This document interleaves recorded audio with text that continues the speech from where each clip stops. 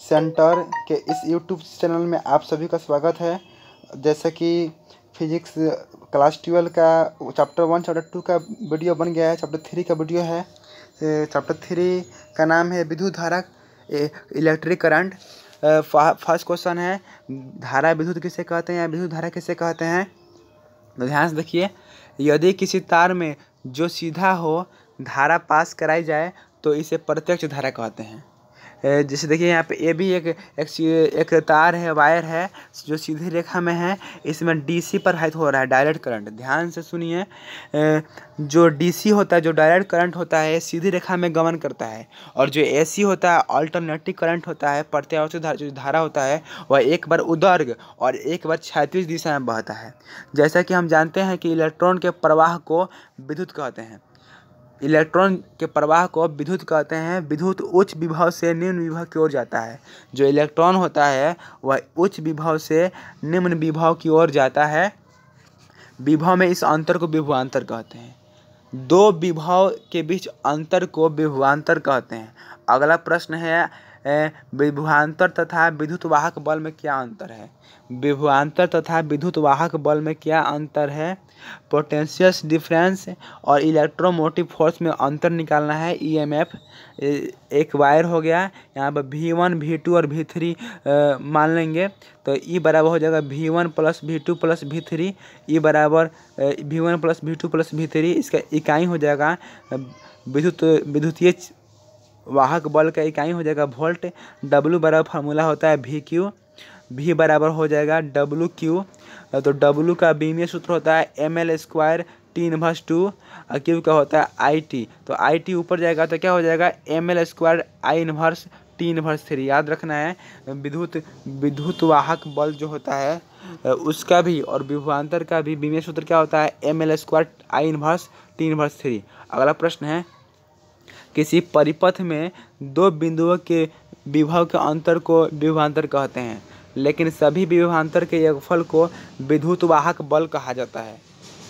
यदि कोई परिपथ बंद हो, यदि कोई परिपथ बंद हो तो विभव के अंतर को विभवान्तर कहते हैं, लेकिन यदि खुला हो तो इसे विद्युत वाहक बल कहते हैं। दोनों की इकाई तथा बीमाएँ समान होती है। याद रखना है विभवान्तर और विद्युत वाहक बल की बीमा भी समान होती है और ऐसे ही मात्रक भी समान होता है। दोनों में अंतर क्या है? तो विद्युत वाहक बल में विभव का योगफल होता है और विभवान्तर में विभव का अंतर होता है। यही अंतर है। अगला प्रश्न है। अगला प्रश्न है, ओम का नियम क्या है? इसकी सीमाएँ लिखे बहुत ही इंपॉर्टेंट क्वेश्चन है। ध्यान से देखिए।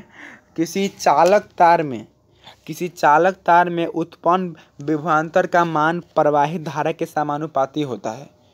किसी चालक तार में उत्पन्न विभवान्तर का जो मान होता है प्रवाहित धारा का समानुपाती होता है, यदि प्रतिरोध नियत हो तो इसे ओम का नियम कहते हैं। भी बराबर विभवान्तर आई बराबर धारा भी समानुपाती आई तो यहाँ पे समानुपातिक चिन्ह हटा के बराबर चिन्ह लाएँगे तो यहाँ पे कांस्टेंट हो जाएगा तो भी बराबर आई आर तो आर क्या है? कांस्टेंट है, प्रतिरोध का स्थिरांक है। आई बराबर भी बटा आर भी भी क्या हो जाएगा? वोल्ट प्रतिरोध क्या हो जाएगा? ओम तो आर बराबर भी बटा आई तो भी का एक वोल्ट और आई का एक एम्पियर एक वोल्ट बटा एक एम्पियर को हम एक ओम भी कर सकते हैं। ओम को इससे सूचित करते हैं। आर की जो बीमा होती है, प्रतिरोध की बीमा क्या होती है? M L square I inverse T inverse three बटा आई होता है तो आई ऊपर जाएगा तो हो जाएगा M L square I inverse two T inverse three Ohm का नियम का सीमा क्या है? ध्यान से देखिए। ओम का नियम तभी लागू होगा जब प्रतिरोध नियत होगा। ओम का नियम, ओम का नियम तभी लागू होगा जब प्रतिरोध नियत होगा। और प्रतिरोध तभी बदलता है जब तार गर्म होता है। और ऐसा कोई भी तार नहीं बना है जिसमें धारा प्रवाहित होने पर वो गर्म ना हो। अतः ओम का नियम न सिर्फ़ फेक है, फ्लॉप है, सिर्फ़ कल्पना मात्र है। ओम का नियम रियली सही नहीं है। कल्पना मात्र है। अगला प्रश्न है सीवेक प्रभाव किसे कहते हैं? तीन प्रभाव इंपॉर्टेंट है सीबेक प्रभाव थॉमसन प्रभाव और पेल्टियर प्रभाव। तीनों में से एक क्वेश्चन हर बार रिपीट होते रहता है। सीबेक प्रभाव किसे कहते हैं? जिस तरह उपकरण दिख, दिखाई दे रहा है, इस तरह उपकरण सजाएँगे। दो बर्तन लेंगे, एक में बर्फ़ रखेंगे और एक में खोलता हुआ पानी रखेंगे। और इस, और लोहा और तांबा का, वायर लेकर दोनों में डुबा देंगे। इस तरह एक तापीय युग्म बनेगा।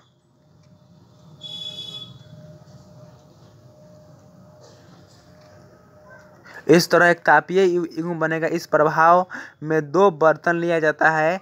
एक में खोलता हुआ पानी रहता है और दूसरे में बर्फ़ रखा जाता है। दो तार लिया जाता है। एक तार तांबे का तथा दूसरा तार लोहे का होता है। इसके दोनों छोरों को जोड़ा जाता है। इसे तापीय युग्म कहा जाता है। दोनों छोरों को बर्फ़ और खोलते पानी में रखने पर धारा तांबा से लोहा की ओर जाती है। इसे सीवेक प्रवाह कहते हैं। इस तरह ताप में परिवर्तन से यदि धारा पैदा हो तो इसे इस प्रवाह को सीवेक प्रभाव कहते हैं। यह जूल के नियम पर कार्य करता है। याद रखना है, जो सीवेक प्रभाव होता है, वह जूल के नियम पर कार्य करता है। यदि यदि हमको बल्ब जलाना हो तो दो बर्तन लेंगे, एक में बर्फ़ रखेंगे और एक में खोलता हुआ पानी रखेंगे। दोनों में बल्ब, वायर जोड़ देंगे बल्ब जलाएँगे तो जलने लगेगा। खूब ठंडा और खूब गर्म मिल करके प्लस माइनस देगा। जिसे कारण बल्ब जलने लगेगा। अगला प्रश्न है पेल्टियर प्रभाव किसे कहते हैं? पेल्टियर प्रभाव किसे कहते हैं? ध्यान से देखिए जिस तरह चित्र दिया हुआ है उस तरह उपकरण सजाएँगे। एक ए, ए, दो दोनों बर, दो बर्तन है दोनों में पानी है और दोनों में लोहा का तांबा का तार डाला गया है और इसमें इसमें बैटरी जोड़ा गया है। इसके पहले वाले में बिजली नहीं प्रभावित किया गया था लेकिन इसमें बिजली प्रभावित करेंगे। तो क्या होगा? होगा। इसमें तांबे और लोहे के तारों के दोनों छोरों को जोड़कर तापीय घुमाया जाता है। दोनों छोरों को ठंडे पानी में रखा जाता है, तथा तो धारा प्रवाहित की जाती है। एक छोर का पानी बर्फ़ बन जाता है और दूसरे छोर का पानी खोलने लगता है। इसे ही पेल्टियर प्रभाव कहते हैं। यह सीवेक प्रभाव का उल्टा है। याद रखना है सीवेक प्रभाव सीधा होता है और पेल्टियर प्रभाव इसका उल्टा है। और पेल्टियर प्रभाव भी जूल के नियम पर कार्य करता है।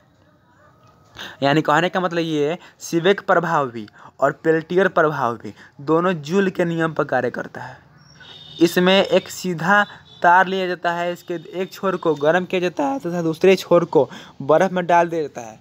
गर्म भाग से भाग से धारा का उत्सर्जन होता तथा ठंडा भाग से धारा का अवशोषण होता है, इसे ही थॉमसन प्रभाव कहते हैं।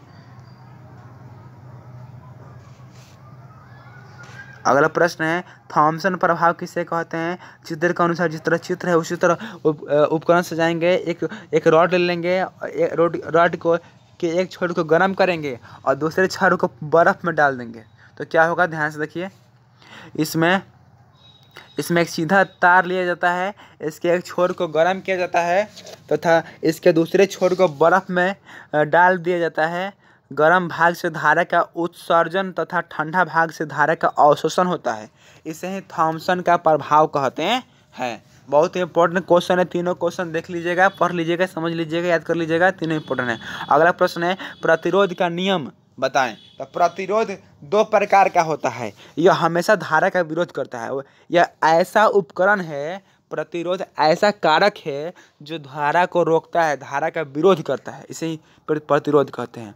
प्रतिरोध दो तरह का होता है, बाहरी प्रतिरोध एक्सटर्नल रेसिस्टेंस और भीतरी या आंतरिक प्रतिरोध इंटरनल रेसिस्टेंस पहला पढ़ते हैं हम, बाहरी प्रतिरोध किसे कहते हैं? तो बाहरी प्रतिरोध को कैपिटल आर से सूचित करते हैं, किसी भी परिपथ में बाहर से जो प्रतिरोध जोड़ा जाता है उसे बाहरी प्रतिरोध कहते हैं। यानी बाहर से प्रतिरोध जोड़ेंगे तो बाहरी प्रतिरोध। और बाहरी प्रतिरोध का मान अधिक होता है, याद रखना है।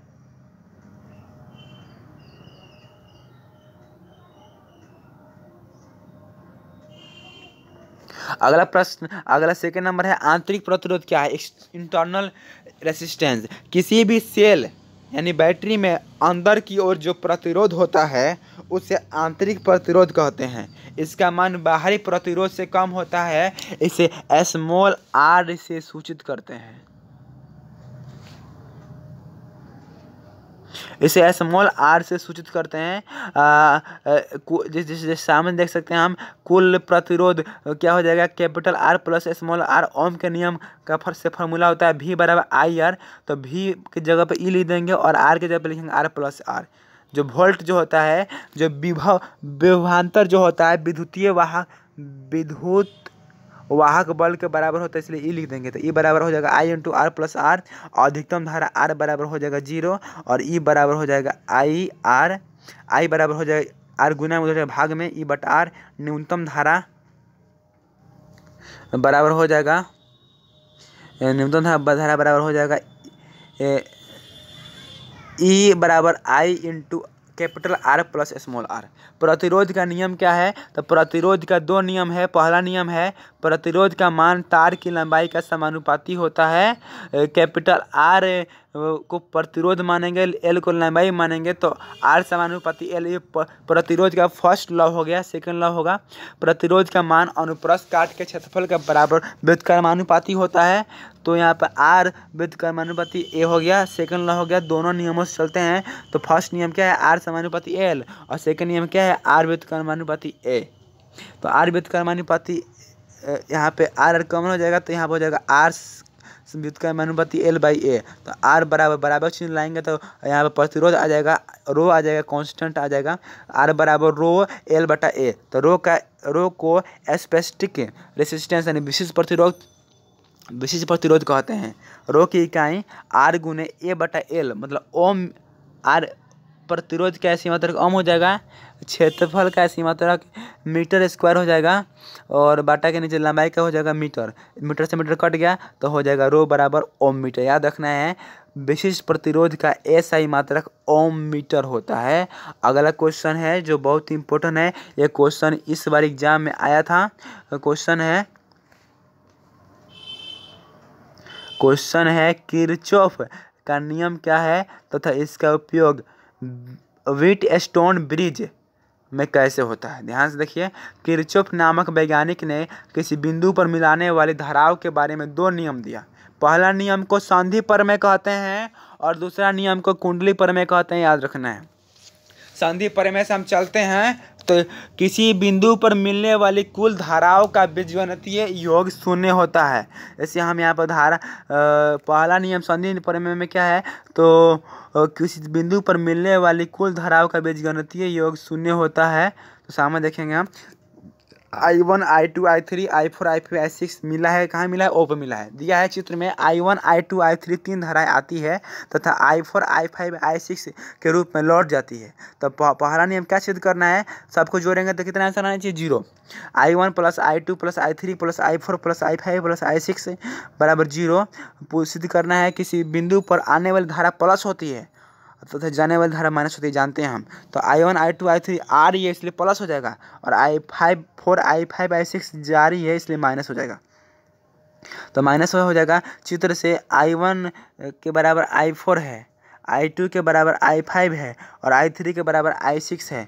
तो यहाँ पे लिखेंगे आई बराबर I one plus I two plus I three plus I four plus I five plus I six I one का आई वन रहेगा आई टू का आई टू रहेगा आई थ्री का आई थ्री रहेगा। आई फोर जो अपन चीन पहले बदलेंगे, क्योंकि I four I five six I six जा रही है, इसलिए तीनों चिन्ह तीनों का चिन्ह बदलेंगे माइनस माइनस माइनस हो जाएगा। आई फोर की जगह पर आई वन लिखेंगे आई फाइव की जगह पर आई टू लिखेंगे और आई थ्री जगह पर आई सिक्स थ्री लिख देंगे। और तीनों तीनों से कट जाएगा, बराबर ज़ीरो आ गया, इस तरह हम संधि प्रमेय को सिद्ध कर दिए। सेकेंड लव है, कुंडली प्रमेय किसे कहते हैं? लुप्स थ्योरम किसी बंद परिपथ में कुल विद्युत वाहक बल का मान शून्य होता है। तो यहाँ पर बंद परिपथ हो गया R one R two R three और धारा हो गया I one I two I three चित्र में ए बी सी एक बंद परिपथ है, जिसमें तीन धारा आए। तीन धाराएँ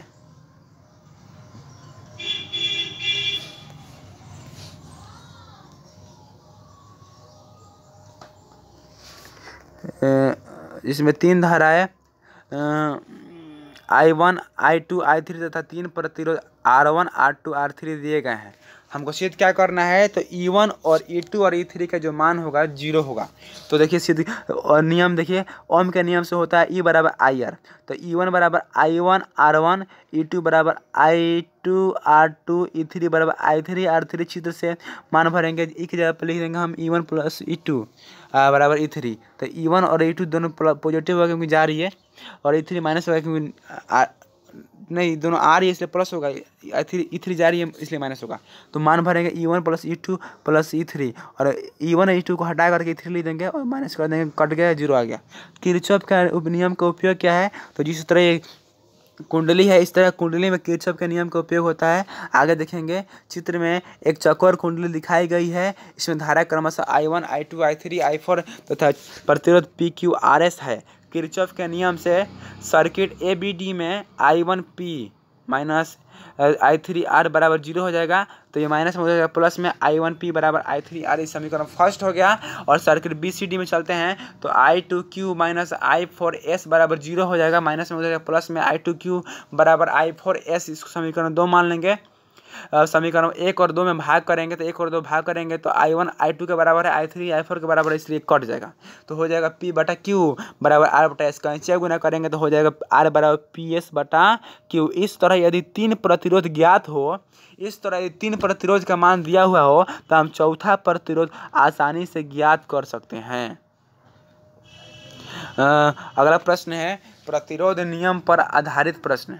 प्रतिरोध नियम पर आधारित प्रश्न क्या है? ध्यान से देखिए इस नियम, यह नियम ताप और प्रतिरोध के बीच संबंध रखता है। इसको हम अल्फ़ा सूचित करते हैं। प्रतिरोध, अल्फ़ा बराबर प्रतिरोध में परिवर्तन बटा मूल प्रतिरोध गुने ताप में अंतर। तो दोनों को कटेगा तो क्या हो जाएगा? अल्फ़ा बराबर प्रतिरोध प्रसार गुना की अल्फ़ा का मान है। अल्फ़ा बराबर हो जाएगा R two minus R one बटा R one into T two minus T one और आर टू क्या हो जाएगा? अंतिम प्रतिरोध। आगे देखते हैं। आगे देखते हैं। आर वन बराबर आरंभिक प्रतिरोध टी टू बराबर अंतिम ताप और टी थ्री टी वन बराबर आरंभिक ताप। आगे है। प्रतिरोध प्रतिरोध का संयोजन। कि, किस तरह होता है? ये हम आगे पढ़े थे। आगे हम पहले इसको हम चैप्टर फ़र्स्ट में पढ़े हैं तो चैप्टर फ़र्स्ट में ना हम संधारित्र को लेकर पढ़े हैं। समांतर क्रम और श्रेणी क्रम के रूप में हम संधारित्र के बारे में पढ़े हैं, लेकिन इसमें हम समांतर क्रम और श्रेणी क्रम पढ़ेंगे, लेकिन इसमें प्रतिरोध के बारे में पढ़ेंगे। क्वेश्चन है, प्रतिरोध का संयोजन करें। प्रतिरोध को दो प्रकार से जोड़ा जाता है। पहला है श्रेणी क्रम में और दूसरा है समांतर क्रम में। तो श्रेणी क्रम में, देखिए ध्यान से श्रेणी क्रम में क्या होता है? ध्यान से देखिए।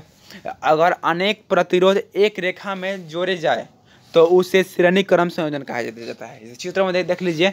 आई धारा हो गया, R one, R two, R three, तीनों प्रतिरोध हो गया, V one, V two, V three, तीनों विभव हो गया। चित्र में तीन प्रतिरोध, R one, R two, R three श्रेणी क्रम में है, जिसका विभांतर V one, V two, V three तथा प्रवाहित धारा आई है। ओम के नियम से भी बराबर हो जाएगा आई आर तो वी वन बराबर हो जाएगा I R one V two बराबर I R two V three बराबर आई आर थ्री तो v बराबर V one plus V two plus V three तो v का मान भर देंगे आई आर और यहाँ पे वी वन का मान भरेंगे, फिर वी टू का, फिर वी थ्री का I I R one plus I R R two plus I R three तो आई आर बराबर हो जाएगा I into R one plus R two plus R three I comment कर लेंगे ऐसे आई कट जाएगा तो आर बराबर हो जाएगा R one plus R two plus R three plus dust dash R N तक जाएगा। तो यही क्या है? यही है श्रेणी क्रम आगे देखते हैं हम समानांतर क्रम समानांतर क्रम में क्या होता है? यदि प्रतिरोध को अलग अलग रेखा में जोड़ा जाए तो उसे समानांतर क्रम संयोजन कहा जाता है। इस चित्र में जो देखा दिया गया है I one I two I three तीन, तीन धारा है R one R two R three तीन प्रतिरोध है और इसमें विभव भी वोल्ट से विभव है। तो भी बराबर हो जाएगा आई आर भी बराबर आई आर तो आर गुना में का भाग में आई बराबर हो जाएगा भी बटा आर तो आई वन बराबर वी बटा आर वन आई टू बराबर वी बटा आर टू आई थ्री बराबर वी बटा आर थ्री यहाँ पर देखिए, अब मान पुट करेंगे आई बराबर I one plus I two plus I three तो आई का मान भरेंगे यहाँ पे वी बटा आर बराबर आई वन का मान भरेंगे वी बटा आर वन प्लस वी बटा आर टू प्लस वी बटा आर थ्री जब भी का मान करेंगे तो वी से भी कट जाएगा, आ, हो जाएगा वन बाई आर बराबर वन बाई आर बराबर one by R one plus one by R two plus one by R three तो यही क्या है? यही समानांतर क्रम में है। ये याद रखना है, यदि बटा के फॉर्म में नहीं रहेगा तो श्रेणी क्रम में है और बटा के फॉर्म में रहेगा तो समानांतर क्रम में है। अगला प्रश्न है, विभव विभव मापी किसे कहते हैं? पोटेंशियोमीटर किसे कहते हैं? यह वैसा उपकरण है जो दो बिंदुओं के बीच विभव को मापता है। विभव मापी जो होता है ना दो बिंदुओं के बीच विभव को मापता है, वोल्ट को मापता है वोल्ट मीटर विभव मापता है, लेकिन उसका पठन सही नहीं आता है। वोल्ट मीटर विभव को माप सकता है, लेकिन वोल्ट मीटर सही से नहीं मापता है। इसलिए हम विभव मापी को का प्रयोग करते हैं। ये महँगा भी मिलता है, क्योंकि यह विभव का मान तुलनात्मक विधि से निकालता है, अतः इसका पठन सही आता है। सिद्धांत क्या है? विभव मापी का सिद्धांत देखेंगे हम। सिद्धांत है विद्युत वाहक बल का मान तार की लंबाई के समानुपाती होता है। यही क्या है? विभवा विभव मापी का सिद्धांत ई बरा, ई बराबर विद्युत वाहक बल, जहाँ ई बराबर विद्युत वाहक बल एल बराबर तार की लंबाई और ई समानुपाती एल तो ई बराबर के एल हो जाएगा तो के कॉन्स्टेंट हो गया। आगे देखते हैं। दो तारों के लिए ई वन बराबर के एल वन समीकरण फ़र्स्ट हो जाएगा ई टू बराबर के एल टू समीकरण सेकंड हो जाएगा। अब फ़र्स्ट में सेकंड से भाग करेंगे तो हम भाग करते हैं। तो भाग करेंगे तो ई बटा ई वन बटा ई टू बराबर एल वन बटा एल टू किससे के कट जाएगा? जहाँ ई वन वाट है ई टू टू वोल्ट है एल वन दस सी एम है एल टू बीस सी एम कोई भी मान दिया हो तो हम उसका मान निकाल सकते हैं। हाँ देखिए यहाँ पर निकला हुआ है। ई वन बराबर ई टू बटा एल वन बटा एल टू मान पुट करेंगे तो कितना आ जाएगा? वन वोल्ट अब विभव मापी का ये बनावट है संरचना है। देखिए इस तरह से विभव मापी का चित्र बनेगा। यहाँ पे जौकी है यहाँ पर वायर है इस वायर है यहाँ पे यहाँ पे सेल है यहाँ पे गैल्वेनोमीटर है और, और दूसरा नोमिकल देता हम इस, नोमिकल को भी बना सकते हैं देखिए सामने। ई वन बराबर टू भी टू भी और ई टू बराबर वाट तो एलेवन और एल टू का मान दिया हुआ है तो हम ई वन का मान देखिए निकल रहे हैं। तो ई वन का मान पुट किए तो हम ई वन का मान दिया हुआ है टू वोल्ट ई टू का मान नहीं दिया हुआ है एल वन एल टू का मान दिया हुआ लिख दिए अब इधर ई टू का मान निकालेंगे तो इधर गुना में भाग में भाग कट कट जाएगा तो आंसर आ जाएगा। कितना आएगा zero point two zero point eight eight eight भी आ जाएगा। आगे देखिए इसका उपयोग क्या है? इसका उपयोग भी पढ़ना है हमको।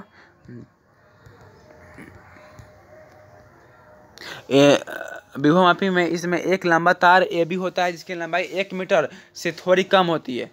दो सेलो ई वन तथा ई टू को गैल्वेनोमीटर के साथ श्रेणी क्रम में जोड़ा जाता है। संतुलन बिंदु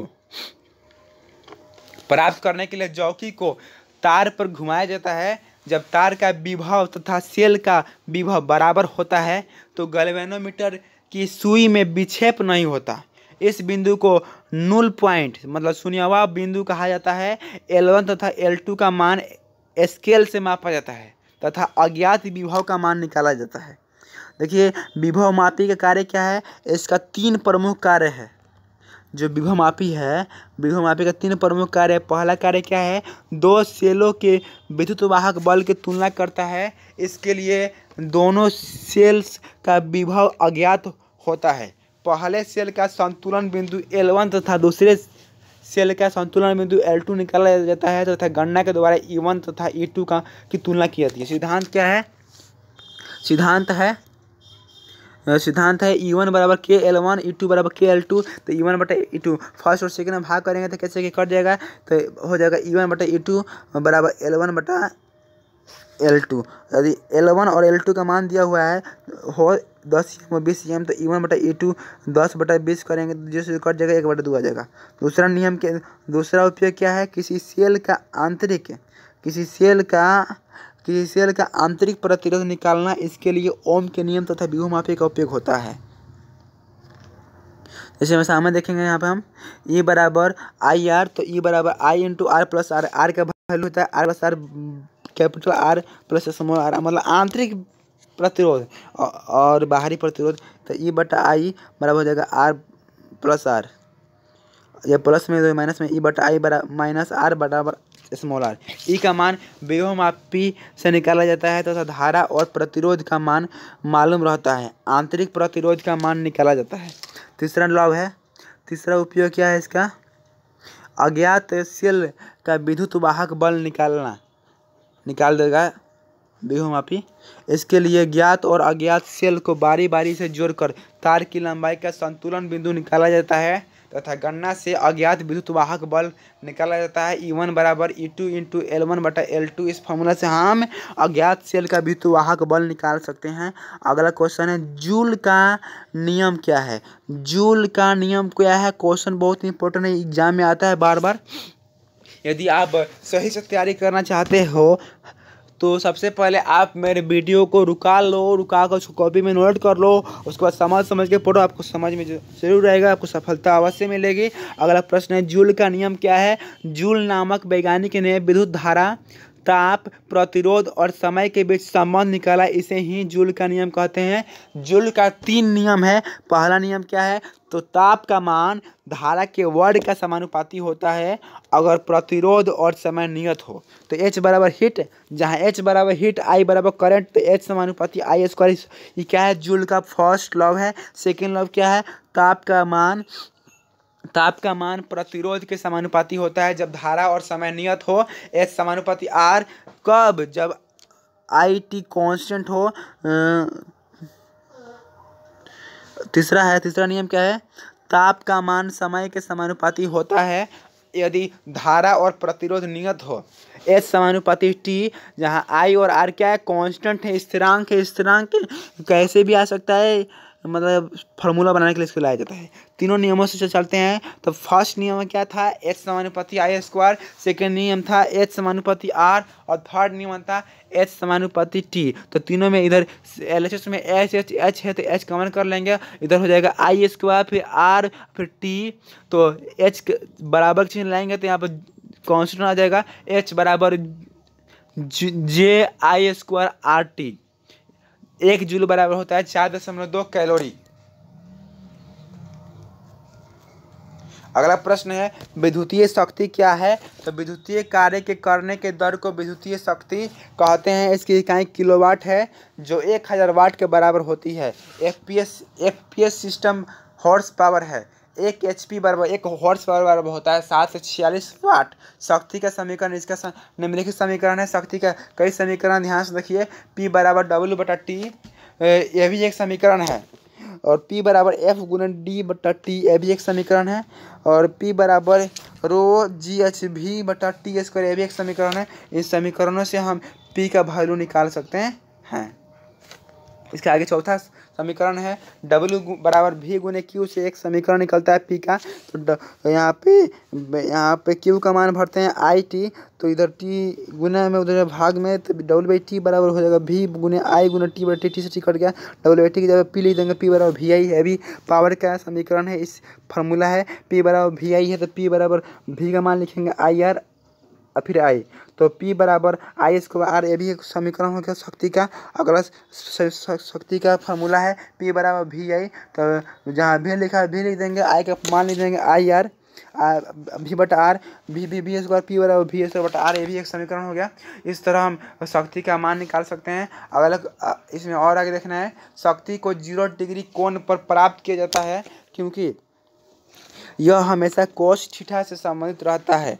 यदि ए सी लिया जाता है तो इसका कोण एक बार नब्बे डिग्री अवश्य होगा, जहाँ शक्ति शून्य हो जाएगा। मतलब थीठा को हम नब्बे डिग्री लेंगे ना तो थीठा बराबर नब्बे डिग्री हो जाएगा तो कोस थीठा बराबर हो जाएगा नब्बे डिग्री कोस नब्बे कोस नब्बे डिग्री का मान कितना होता है? ज़ीरो, इसलिए शून्य हो जाएगा। अगला प्रश्न संट क्या है? ये क्वेश्चन दो हज़ार दो हज़ार उन्नीस के एग्ज़ाम में आया था। अब देखिए ध्यान से संट क्या है? गलवेनोमीटर धारा को मापता है। गलवेनोमीटर धारा को मापता है। यह शुद्ध शुद्ध मापता है। यदि अधिक मान की धारा परिपथ में जाएगी तो कुंडली गलकर क्षतिग्रस्त हो जाएगी। अतः इसे गलने से बचाने के लिए कम द्रव्यनांक का प्रतिरोध समांतर क्रम में जोड़ा जाता है। इसे संट कहते हैं। जब अधिक मान की धारा परिपथ में जाएगी तो संट का तार गलकर परिपथ को बंद करेगा। संट से संबंधित तीन प्रकार का सवाल आता है, जो सामने दिया गया है। Type one type two type three पर टाइप वन देखते हैं। देखिए यहाँ पे चित्र इस तरह दिया रहेगा, यहाँ पे ऊपर गैल्वेनोमीटर नीचे संट है। जी मतलब गैल्वेनोमीटर का प्रतिरोध एस मतलब संट का प्रतिरोध आर बराबर कुल प्रतिरोध तो वन बाई आर बराबर हो जाएगा समानांतर क्रम में one by G plus one by S तो बटा का जो बनाएँगे तो हो जाएगा जी प्लस एस बटा जी एस तो कैंचे गुना हो जाएगा तो पल्टी मार देगा तो आर बराबर हो जाएगा जी एस बटा जी प्लस एस मतलब जी एस का मान दिया जी और एस का मान दिया हो तो हम प्रतिरोध, कुल प्रतिरोध निकाल सकते हैं टाइप टू पर सवाल बने, आएगा तो किस तरह बनेगा? एस बराबर होता है आई जी गुने जी बटा आई माइनस आई जी, जहाँ एस संट का प्रतिरोध है, आई जी गलवेनोमीटर की धारा है, जी गलवेनोमीटर का प्रतिरोध है और आई कुल धारा है।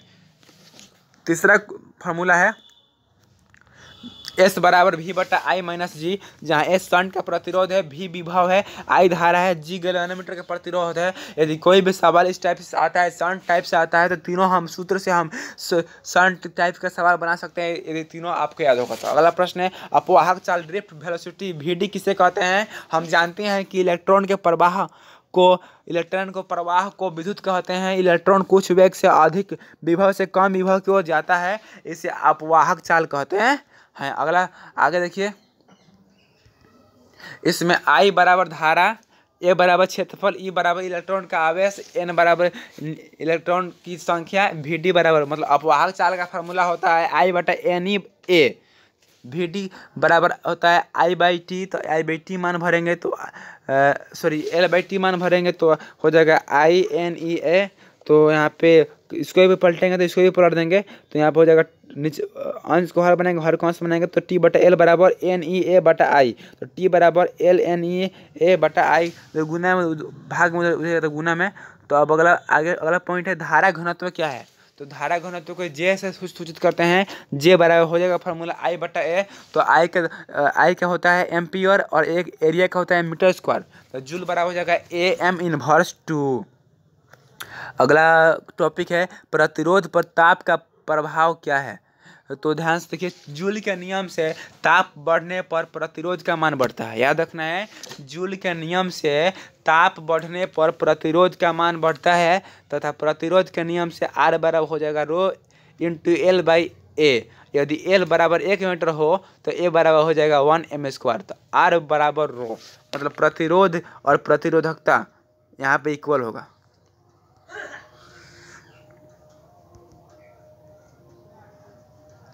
नेक्स्ट नेक्स्ट इसी में देखिए इस तरह प्रतिरोध का मान बढ़ने पर प्रतिरोधकता का मान बढ़ता है ताप बढ़ने पर प्रतिरोध और प्रतिरोधकता दोनों का मान बढ़ता है। अगला क्वेश्चन है ऑब्जेक्टिव सवाल में आ भी सकता है, ध्यान से देखिए, रंगीन कोड प्रतिरोध किसे कहते हैं? तो देखिए, प्रतिरोध बॉक्स में अनेकों प्रतिरोध होता है, उसके ऊपर टोपी लगी रहती है, जिसे रंगीन बनाया जाता है। इसे रंगीन कोड प्रतिरोध कहते हैं। इसे ही रंगीन कोड प्रतिरोध कहते हैं। कैप का जो रंग होता है, उसको मान ज़ीरो से नौ तक सूचित करते हैं उसके मान को। ज़ीरो मतलब काला, एक मतलब भूरा, दो मतलब लाल, तीन मतलब नारंगी, चार मतलब पीला, पाँच मतलब हरा, छः मतलब नीला, सात मतलब बैगनी, आठ मतलब ग्रे और नौ मतलब वाइट।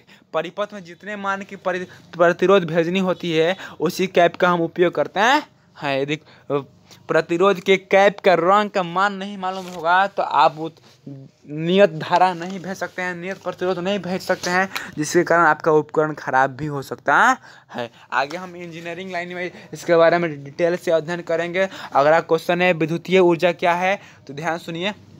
किसी भी ऊर्जा को कार्य के रूप में मापा जाता है।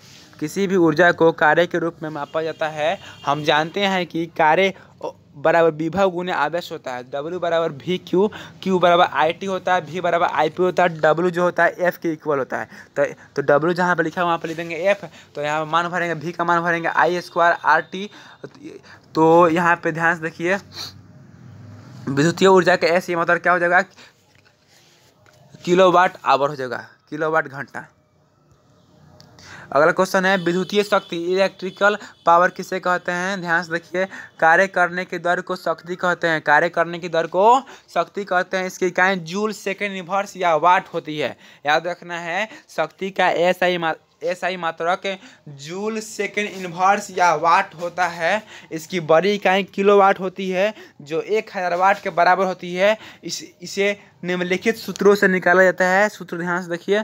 भी डब्ल्यू बराबर भी क्यू क्यू बराबर आई टी दोनों तरफ़ टी से भाग करने पर तो डब्ल्यू बाई टी बराबर भी क्यू का मान भर देंगे। आई टी बड़ा टी टी से टी कट गया। डब्ल्यू बाई टी को पी लिख देंगे पी बराबर भी आई ये हम आगे भी देखे थे पी बराबर भी आई से देखते हैं तो भी की जगह आई आर लिखेंगे तो पी बराबर हो जाएगा आई स्क्वायर आर तीसरा फॉर्मूला है पी बराबर वी आई भी की जगह पर लिखेंगे आई आर आई की जगह पर लिखेंगे भी बटा आर मान पुट करेंगे तो पी का वैल्यू हो जाएगा भी स्क्वायर बटा आर चौथा फार्मूला है पी बराबर वी आई कोस थीठा यदि थीठा का मान नब्बे डिग्री हो तो पी बराबर ज़ीरो डिग्री होगा क्योंकि कोस थीटा का मान ज़ीरो होता है। और ज़ीरो में भी और आई से गुना करेंगे तो जी ज़ीरो ही होगा। अगला फार्मूला होगा डब्ल्यू बाई टी बराबर एफ़ गुने डी बटा टी तो डी बाई टी की जगह पर हम भी भी लिख सकते हैं। तो भी पर लिखेंगे डब्ल्यू बाई टी की जगह पी लिखेंगे और डी बाई टी की जगह भी लिखेंगे तो हो जाएगा पी बराबर एफ़ भी चलो जी, आगे देखो। सेलों का संयोजन जिस तरह प्रतिरोध को दो प्रकार से जोड़ा जाता है, ठीक उसी तरह सेलों को भी दो तरह से जोड़ा जाता है। यदि सभी सेल एक ही लाइन में जोड़ा जाए तो इन्हें समा श्रेणी क्रम कहते हैं। लेकिन यदि इसे अलग अलग लाइन में जोड़ा जाए तो इसे समानांतर क्रम कहते हैं। इसके लिए सूत्र है ई बराबर E one plus E two और आर बराबर R one plus R two लेकिन समानांतर क्रम में जोड़ें तो ई बराबर E one R two plus E two R one बटा R one plus R two या वन बाई आर बराबर one by R one plus one by R two इसको हम पहले ही पढ़ चुके थे अगला प्रश्न है, जो बहुत इंपॉर्टेंट बार बार एग्ज़ाम आता है रिपीट होता रहता है। मीटर सेतु किसे कहते हैं? मीटर सेतु का चित्र बना हुआ है। यहाँ पर गैल्वेनोमीटर है, यहाँ पर वायर जो है, जिसकी लंबाई सौ सी है, यहाँ प्रतिरोध है और यहाँ पर संट है और यहाँ पे इलेक्ट्रिक है। यहाँ पे देखिए ध्यान से। यह वैसा उपकरण है जो अज्ञात प्रतिरोध का मान निकालता है। याद रखिएगा मीटर सेतु एक वैसा उपकरण है जो नहीं मालूम किए हुए प्रतिरोध का मान निकालता है। इसमें तार की लंबाई एक मीटर यानी सौ सी होती है। अतः इसका नाम मीटर सेतु परा है। इसका सिद्धांत देखिए। सिद्धांत है, प्रतिरोध का मान, प्रतिरोध का मान तार की लंबाई का समानुपाती होता है। आर समानुपाती एल वन समानुपाती का चिन्ह हटेगा तो कॉन्स्टेंट आएगा। आर बराबर के एल वन समीकरण फ़र्स्ट हो गया। एस समानुपाती एल टू ये भी यहाँ भी समानुपाती का चिन्ह हटेगा तो कांस्टेंट आएगा तो एस बराबर के एल टू समीकरण सेकंड हो जाएगा फ़र्स्ट और सेकंड से कर, भाग करते हैं तो आर बटा एस बराबर हो जाएगा के एल वन बटा के एल टू कैसे के कट गया? आर बटा एस बराबर हो जाएगा एल वन बटा सौ माइनस एल वन क्योंकि जब पूरा सौ है तो एल टू का मान निकालेंगे तो सौ में से हटाएँगे ना जी? आर बराबर हो जाएगा एस गुने एल वन बटा सौ minus L one L one क्योंकि इधर एस गुना में उधर भा, भाग में था उधर जाएगा तो गुना में। यह अज्ञात प्रतिरोध का मान निकालता है। यह अज्ञात प्रतिरोध का मान निकालता है। इसमें दो प्रतिरोध श्रेणी क्रम में जुड़े होते हैं जिससे सेल जुड़ा होता है। वैसा लंबाई का चुनाव किया जाता है जो संतुलन बिंदु बनाता है। समीकरण के द्वारा अज्ञात प्रतिरोध का मान निकाला जाता है, है समीकरण ध्यान से देखिए यहाँ पे समीकरण दिया हुआ है।